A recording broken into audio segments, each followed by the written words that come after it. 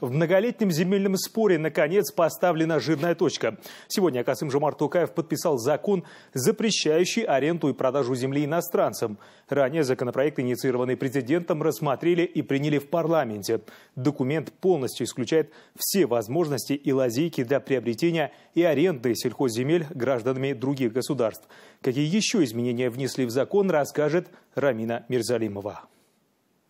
Споры вокруг земельных отношений в стране шли давно. Сегодня президент страны окончательно решил проблему. Поправки предусматривают запрет на аренду и продажу земель как сельскохозяйственного назначения, так и для лесоразведения иностранцам и иностранным компаниям, казахстанским компаниям с иностранной долей, лицам без гражданства, научным центрам с международным участием, а также кандасам. Помощник главы государства Ерлан Карин, в свою очередь, отмечает, что это четкий ответ власти на различные манипуляции и домыслы. Власть показала на примере данного закона, данный, данного вопроса, что она готова слышать э, позиции граждан, она готова их принимать и принимать какие-то определенные конструктивные решения. То есть это как раз-таки пример такого конструктивного совместного решения власти и общества по одному из самых дискутируемых э, вопросов. Раньше иностранцы, доля которых в основном капитале составляла больше 50%, могли лишь арендовать земельный участок до 25 лет. Теперь эту норму полностью исключили. Отныне срок этих самых арендованных земель таким гражданам продлевать не будут. Бахджан Базарбек принимал участие в разработке и обсуждении важного документа. Юрист уверен, что обойти закон не получится, так как его реализация будет на строгом контроле.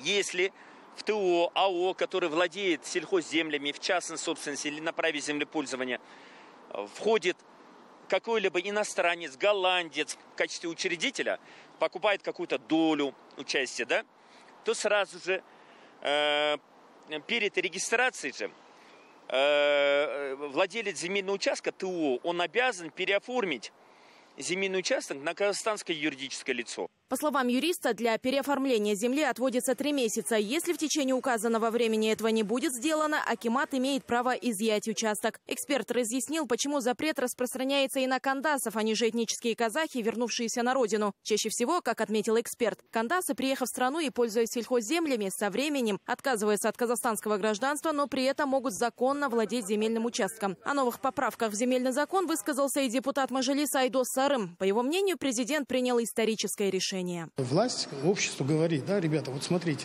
если у вас есть такие опасения, мы их снимаем. Все, теперь поставлена точка. Те люди, которые пытались на этом хайповать, те люди, которые зарабатывали дешевые политические дивиденды, они все должны успокоиться. Никаких других вопросов э, в отношении иностранцев нету и не будет. Таким образом, сельхозземли будут предоставляться только гражданам Казахстана и юридическим лицам без иностранного участия. А принятие нового закона – еще одно свидетельство эффективности концепции слышащего государства. Рамина Мирзалимова, Сагантай Монайтпасов, телеканал Алматы.